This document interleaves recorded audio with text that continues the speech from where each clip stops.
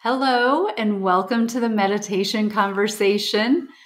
I'm your host, Kara Goodwin, and today I'm here with Michael Massey. Welcome back, Michael. It's been a long time since you've been here. It has, Kara. Good to do this again. Feels like forever in a forever in a day, as they say. No kidding. Yeah, and it might has it been like two months or Maybe. might Yeah, maybe. it's been a long time. It has, and it certainly feels like you know, it feels like uh, maybe two decades. So Right. Yeah, because there's been a lot going on, a lot of shifts, a lot of, there's been a lot out in the world going on. there has indeed. Um, and so you and I were just catching up, and we were kind of talking about.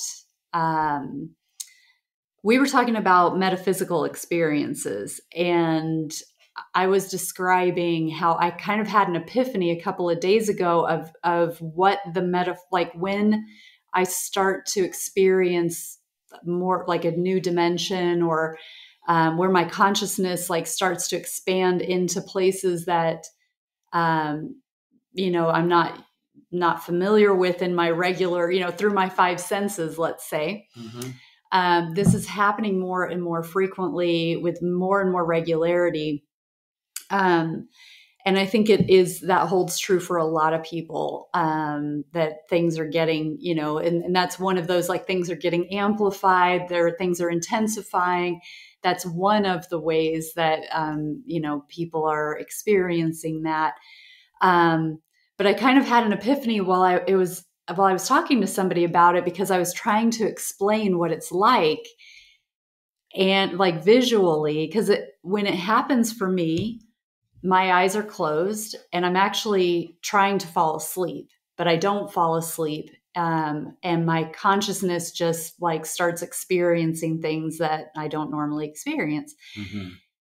and the way that I realized it's like if I close my eyes at any given point, there is like this staticky, it's just like it's it's not black, right? It's Mhm. like for well, at least I can only speak for myself, what I see behind closed eyes is like this staticky, noisy color scheme of like you know it reminds me of when you you know the way that tvs used to work you'd find a channel that didn't have anything airing and there'd be Mhm. there'd be audio static and there'd be visual static and that's similar to what it's like when i close my eyes at in a given regular moment you know Mhm. it's and there are colors it's not all black and white like in the tv example but when i experience those like Mhm. other realms let's say Mhm.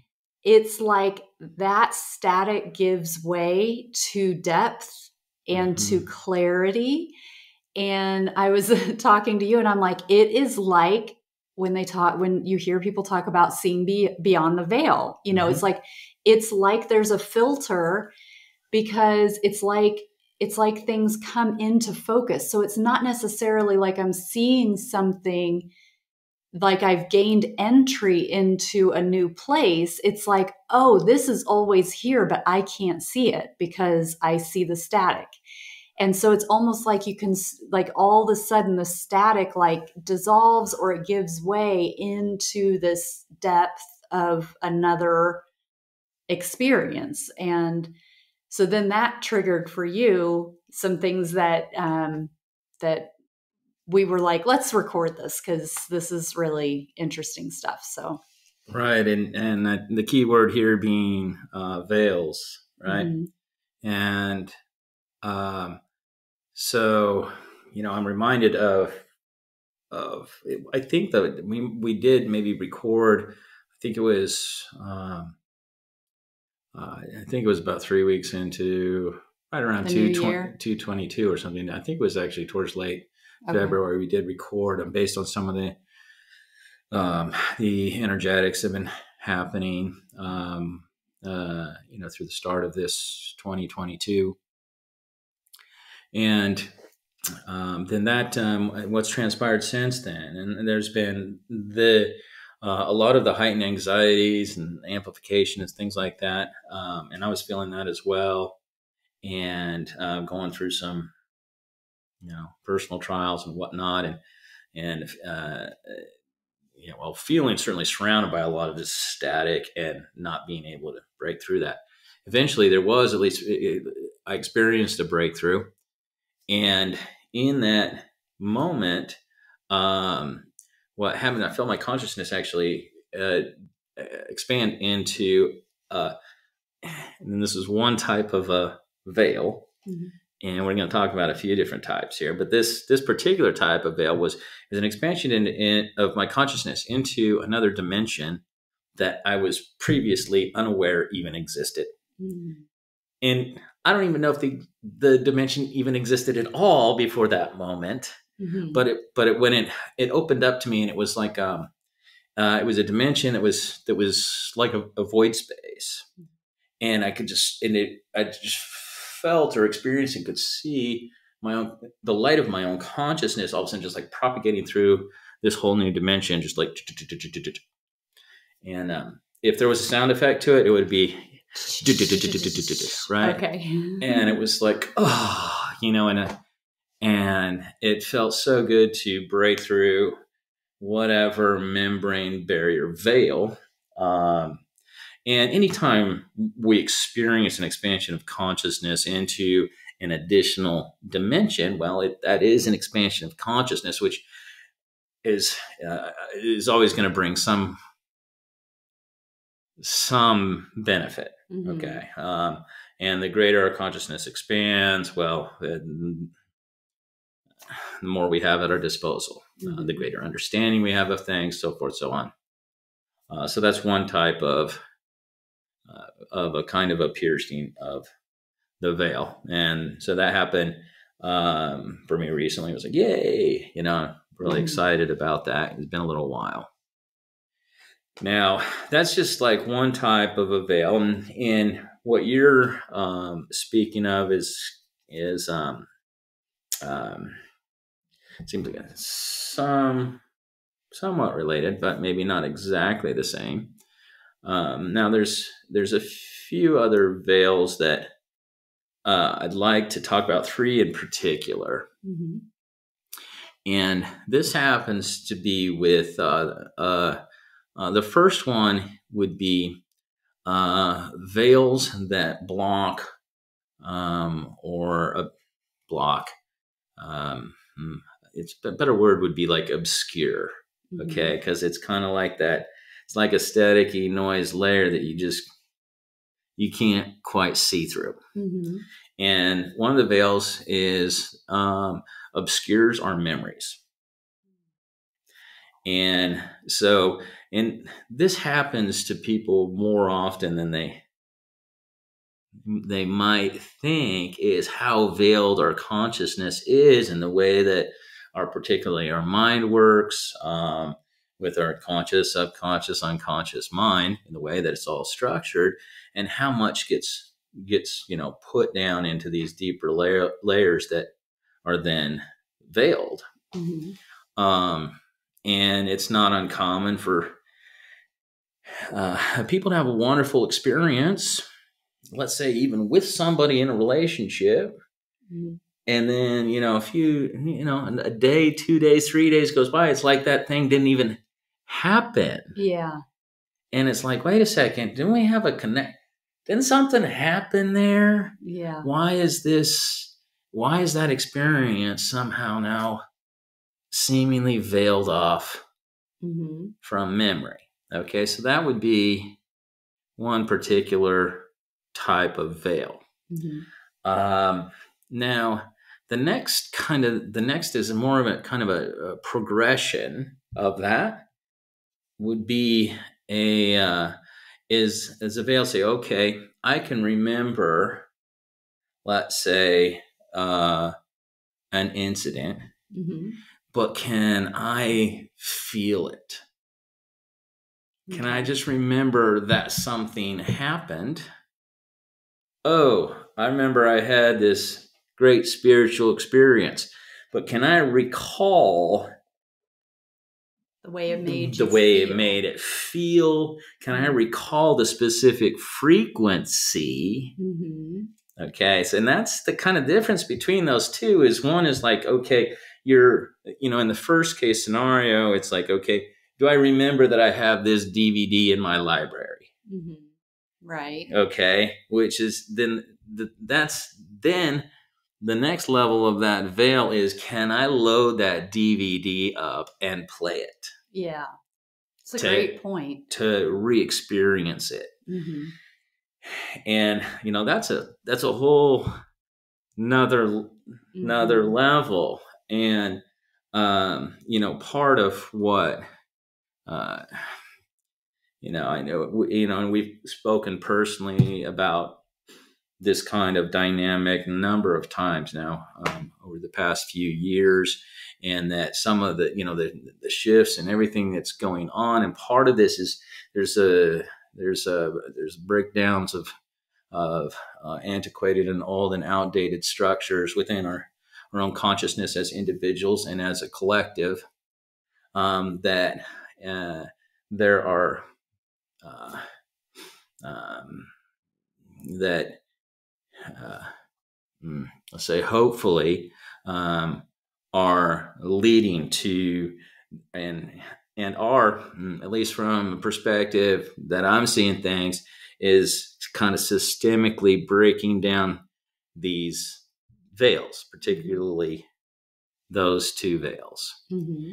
Uh, now, at the same time, we also have so much in the way of distractions and noise and stuff that comes from from the you know from media and everything and the you know political and cultural affairs and stuff like this that can act as smoke screens which is kind of almost a counter force to the clarity we're seeing seeking to be able to to pierce through these veils in order to restore our memory access, our library mm-hmm. of experiences that we have uh, uh, to draw upon.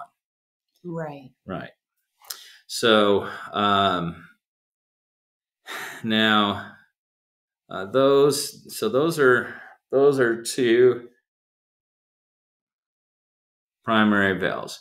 Now something that you were kind of sharing about was was sort of um, you were also talking about uh, on a, on a physical visual side. Mm-hmm. Okay, right? Mm-hmm. So, um, um, or at least you were earlier. So mm-hmm. there's the there's the eyes there's the eyes closed meditative experience of what's unfolding in your consciousness through a you know your own third eye spherical yeah. consciousness view right? Mm-hmm. and then there's the also the eyes open perception of the world around you. And you you said something to the effect of that if you you kind of look with maybe the right kind of focus and you're looking around it's almost like you can see a static even with my eyes open with your eyes open yes around you and it doesn't matter if you're looking at a mm-hmm. blank wall or yeah. the backyard or mm-hmm. correct right okay you want is there anything that you'd like to share about that yeah i mean just that you know if if i look at these these walls are what like a light gray kind of color but if i actually just look at it it's all it's like pixels not as organized as a pixel would be because they tend to be more like you know squares i think of but just i can see lots of different tiny little colors i mean even if i look at your face i can see almost like an overlay if i if i pay attention like if i'm mm-hmm. not if i'm just distracted or you know caught up in whatever mm-hmm. i won't even notice it but but it's like this screen almost you know that's like just these tiny little subtle colors that I don't normally notice, but that I can see with my eyes open too.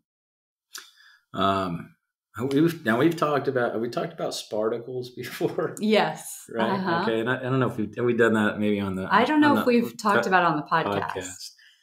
And uh, yeah, uh, so there's a because because uh, you had I think you had once a once upon a time, right? You were like, I, I see these little things in the air, in the sky. Like oh, those are typically in the sky. The sparticles. Okay. And I remember the first retreat I hosted, which was you know a couple of uh-huh. years ago now. And I would, I remember laying on the grass and having my eyes open, and I was like, oh my God, there are all these like flash, just flashes of little they're they're there and they're gone. They're there and they're gone. But it was like like way too many for me to even process. Yeah. I'm like like fireflies yeah. blinking, but in full daylight, and they weren't yellow. You know, it wasn't bugs. It was nothing physical, but it was just mm-hmm. like flash, flash, flash, flash, and that happened a few times. And yeah. then I'll just be walking around some not all the time, but sometimes like if I'm walking outside, I'll see like Okay. My sparticles. Sparticles, yeah. right. And um, now it doesn't happen for me all the time either. Um, uh, and but it used to happen happen a lot more frequently for me in Sedona. Okay. And there and it's happened enough times for me to and, and actually when I'm in when I'm in Sedona, or I can tell when my when I'm in a certain at least to a certain threshold in terms of my own energetics and how I'm how I'm feeling and how I'm feeling connected, then I can just alter my focus gaze mm-hmm. and I can see these. And and I know I've seen them when there's when it's in bright sun in sunlight mm-hmm. or when it's completely clouded over. It does it's not a it's not sunlight reflecting off of dust particles. Yes. Okay. Right. And it and it they and they permeate through the air and they're almost like falling like rain all over. There's, I mean, there's, it's like trying to count the sand on the seashore. I mean, there's, yeah. there's no way to calculate how many of those there are. And, um, but it, it, does correspond to, let's say, a, a certain level of awareness, frequency, etc and it always gives me a kind of uh, let's say a warm, it's a warm and fuzzy kind of feeling that is associated with that particular frequency where the veils of physical perception are getting really thin. And so there's like these little sparks of light that are starting to poke through this other this veil that is a physical perception veil. Yes. A physical veil of perception, and maybe a better way to say it. Yeah. Okay. And so this is that kind of that third veil I want to really highlight here because this is the one that is in the the the funny thing about the, the about the first one that I talked about, about say okay a dimension I, you know, I had my consciousness uh, uh, expanded into a dimension of which I previously was completely unaware even existed. Mm-hmm. Okay, so um, when the, this is the astounding thing is that there actually is a perceptual veil that that in our physical reality that obscures our ability to see what is really there. Yeah. And as such, you know, 99.9% of all people, probably more than that, have no have no even really rough concept that of what is actually right here mm-hmm. in our physical environment and it's just hiding behind a veil. Yeah, and it's literally here. Here. Yes. Yes, it's no, it's not a metaphor. Now, right. the thing is we we somehow the, one of the ways that we can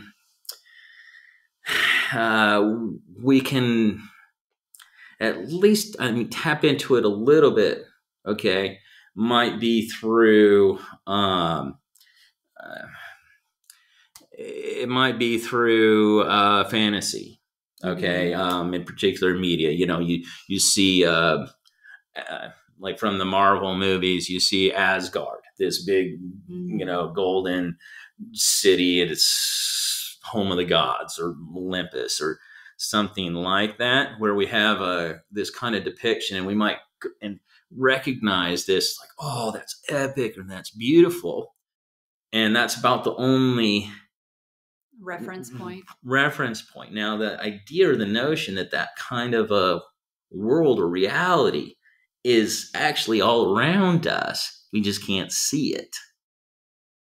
That's the thing, and so we might we might resonate with some of these other what we think are other realms mm-hmm.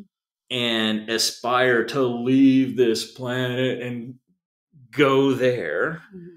And in truth it's just all it's just a veil away mm-hmm.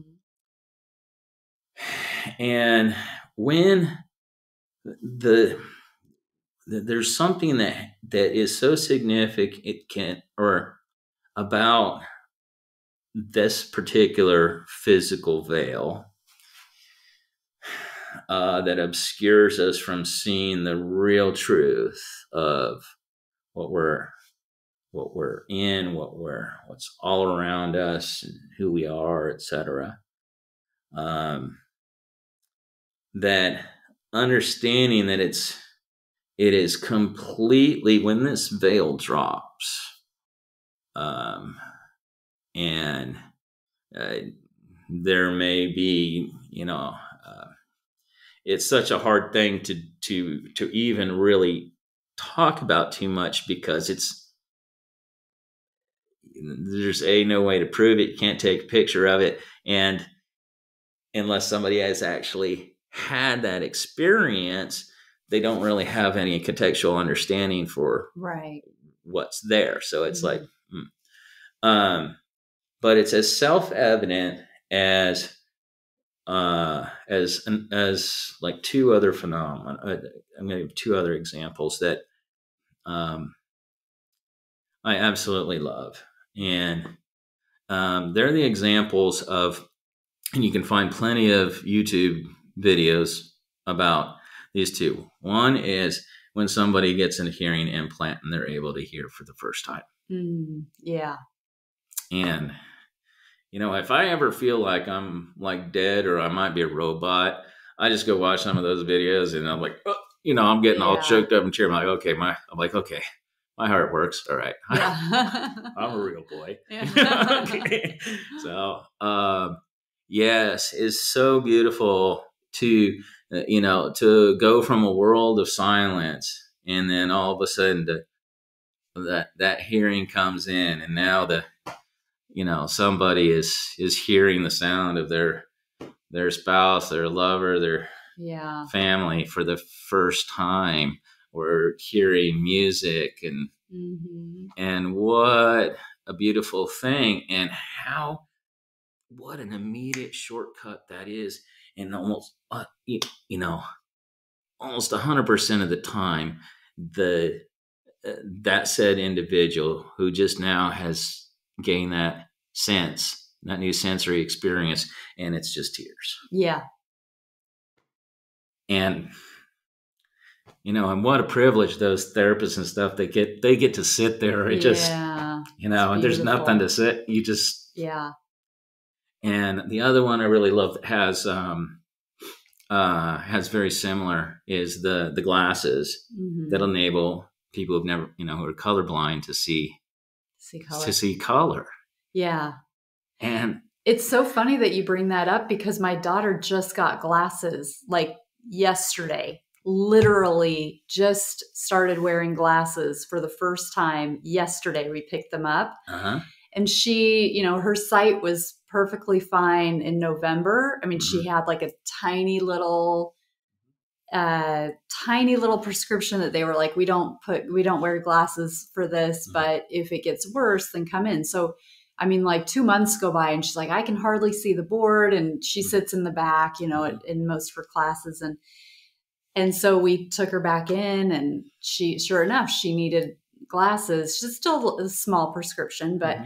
uh, but bigger than you know, it had mm-hmm. grown quite a bit since November so we picked she keeps asking we got it we got fitted for them two weeks ago and she keeps asking like is it mm-hmm. because i it's i really you know, I really can't see very well Mhm. in class. So she puts them on less than 24 hours ago, you know, and she's like, whoa, it's so clear. She's like, Mama, it's like brighter because she because that's one of the things that like you don't even think about and i i have had Mhm. lasik so i know what it's like my vision was horrible before but now i don't deal with that so i i Mhm. forgot about that part of it i'm like you're right yeah. it does cr- it gets clear and brighter um but she was having fun with it like as she's walking down the street like you know yeah. like yeah. oh my gosh it's amazing you know Yeah. so it's so funny to bring that up now because this is my daughter's world right now Uh, yeah, I think I was about 15 or 16 when I first got glasses, and I was starting to struggle to Mhm. read the board. And, and and I went and got tested, and I think I had 20 25 in one eye and 20 30 in the other. So not, I Mhm. mean, just a little bit, but it was enough that I remember when I put those glasses, when I put the glasses on, and I was also, I was like, ah, there's like leaves yeah on the trees. right I mean, like, like, like, it's not just a green Yes. tree. It's like, oh, there's leaves. yeah, I yeah could see. Oh, I could see. You know, I'm just looking around. yeah it's like fascinating it's fascinating, Mhm. and also that um, if you can't, when you can't see that well, is the is uh, it's like uh, how much your stress that puts on your brain. Yeah. Because it's Trying. trying, to decode all this Mhm. this this sensory input it's getting. And um and then all of a sudden you put those on and you're just like your brain is like whoa. Yeah. And it starts to yeah it just Right. opens up. And um it's a fascinating thing. And and, and the the and then for you know and again for those who have been colorblind Mhm. and all of a sudden then they get to see now that there's almost always this it's uh, uh, the same response is all of a sudden there there's at first it's just wonder right? Yeah. It's just oh wondering looking around and like whoa oh like what oh that's what purple is? Yeah. And it's it's interesting is that that is even if somebody's been colorblind they're they're able to label all the colors Mhm. that they've never seen yeah even though that they're you know because for them i guess it's been multiple shades of gray or or whatever types of Yeah. colorblind they have right well they can usually see color but just not all the, of the right because it's like right not the, all of the spectrum so everything's going to be if they're um you know if they're like red green stuff or whatever so it's always going to be some kind of bluish graded things Yeah. or some of them it depends on on what what they're able to see versus not see but certainly color blends Mhm. like your secondary colors of your purples your oranges yeah and stuff like that are going to look like other they're going to look at Yeah. sh- like shades of another primary right right? yeah. um, and so they they end up um, uh, the brain starts interpreting that and identifying that that particular shade of such and such equals orange or equals yeah. purple. And now all of a sudden they get to see that. Hmm and the the what's so beautiful about the, this experience uh, is is that it doesn't take but a moment of looking around and all of a sudden here's this person who's not taking for granted what is all around them and they're looking and they're in awe and wonder at the beauty of of what we take every for granted. of what we take for granted. Yeah. And they're like oh look yeah. at my sweatpants. They're like they're so bright. Yeah. Yeah. But it brings to mind too, we call it like clair audient, clairvoyant, which is clear. You know, Mhm. it's like the ability. So every sense has its clair, hmm where it's like, okay, if you can perceive that sense beyond normal human ability, hmm then it becomes a clair. hmm So if you can see, if you can, if I can look at you and see, you know, spirits, I see your grandma or, you know, right. whatever around you, then we would say I'm clairvoyant.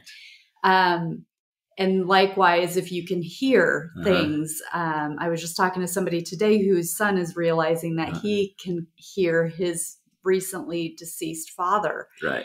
um, and so we say that's clairaudient but it is like like as we're talking about this i'm like it is this clear sight it's like it's it's extra because we're so used to dealing with the veil Yeah. you know that veils for every single one of our senses and so when we are, have that ability to clear Uh-huh. the veil and be able to see more of this you know what's beyond these different veils then we have words for it it's in our everyday vernacular And it's it's funny you bring this up, and I'm just going to jump in here with semantics and even offer up of a an alternate definition because when you talk about clairaudience and clairsentience, and, and, and you, you gave examples of how those are actually those those words are, or labels are applied, and um, it, it, it's almost more accurate though. If, like you're seeing spirits or you're hearing that kind of stuff is is an, it's an extrasensory perception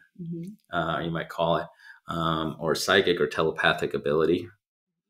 Um, and I'm going to proffer up that that those don't necessarily mean true clairaudience or clair uh, voyance.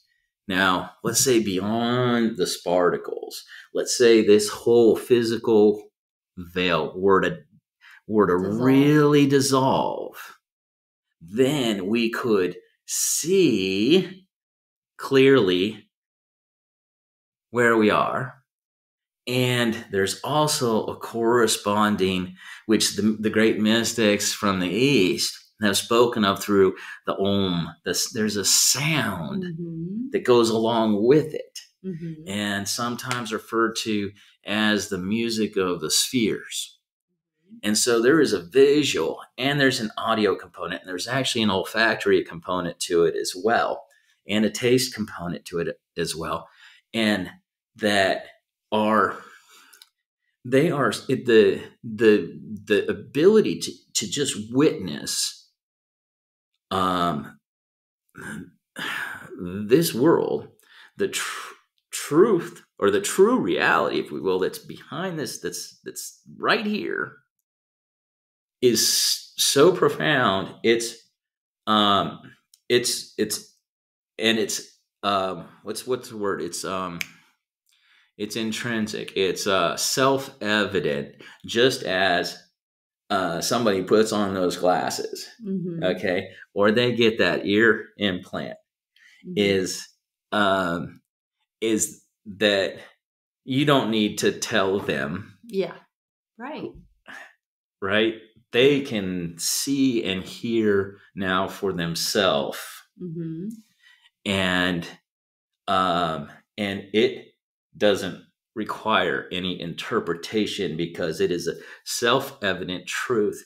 And to me this is the ultimate and it's like the it's the ultimate like prayer or you know a call out of the you know to all the forces of of love in the entire universe to bring forth this experience that of this removal of this veil such that um, our our eyes will really be opened and our ears opened to be able to to see and experience this world that we are in that has been obscured from us.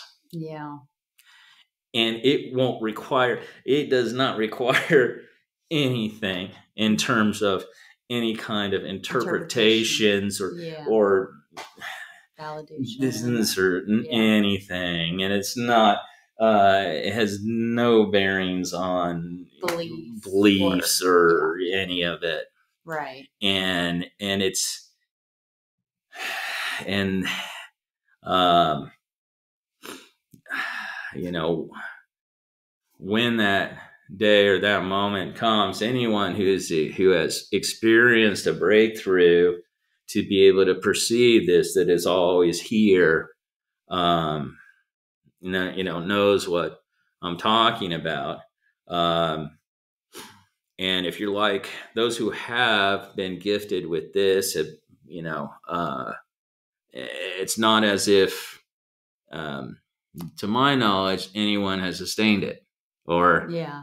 it's been glimpses, previews. Yeah. It's like seeing the trailer Mhm. for an upcoming film, right. Right. and so Yeah. Um, uh, but with everyone that sees it, I guess it, it it encroaches with every prayerful request, with every heartfelt intent, and with every act of kindness that we can uh, do to help each other.